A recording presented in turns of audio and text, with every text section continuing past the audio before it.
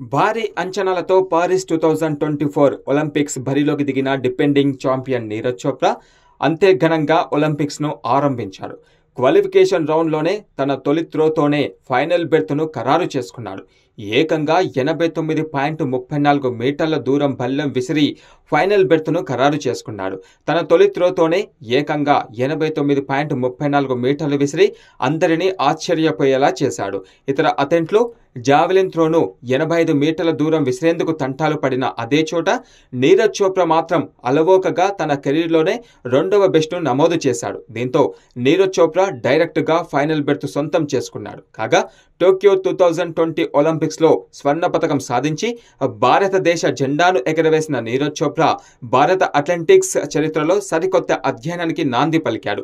Tokyo two thousand twenty ఒలింపిక్స్లో నీరజ్ చోప్రా ఎనభై ఏడు పాయింట్ యాభై ఎనిమిది మీటర్ల త్రోతో విసిరి స్వర్ణం విసిరాడు. తాజాగా పారిస్ ఒలింపిక్స్లో ఈ రికార్డును బ్రేక్ చేశాడు. ఏకంగా ఎనభై తొమ్మిది పాయింట్ ముప్పై నాలుగు మీటర్లను నమోదు చేశాడు. అయితే నీరజ్ చోప్రా కెరీర్లో ఇది రెండో బెస్ట్ త్రో కావడం విశేషం.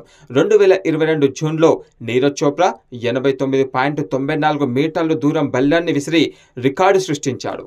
అయితే తుదిపోరులో నీరజ్కు గట్టి సవాలు ఎదురు కానుంది జావెలిన్లో ఎన్నో రికార్డులు నెలకొల్పిన దిగ్గజాలను ఈ భారత స్టార్ ఎదుర్కోబోతున్నాడు.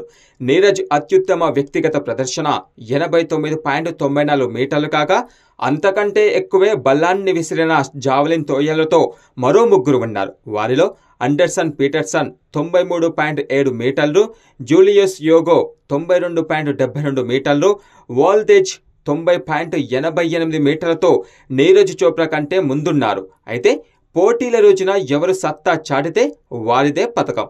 ఇప్పుడు ఫైనల్లో కూడా నీరజ్ మరోసారి ఆ భల్లాన్ని సుదూరం విసిరితే పథకం ఖాయమైనట్లే. అయితే ఫైనల్ రోజు ఎవరు ఎలాంటి ప్రదర్శన ఇవ్వబోతున్నారంటే ముఖ్యం.